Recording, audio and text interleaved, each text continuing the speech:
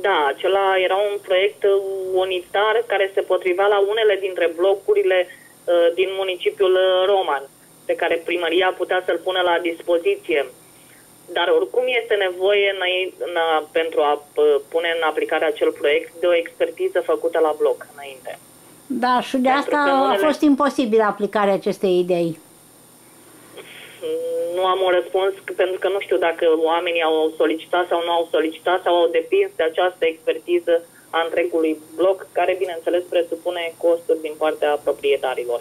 Mai Da. ales că în unele uh, blocuri s-au și făcut uh, modificări în interiorul apartamentelor.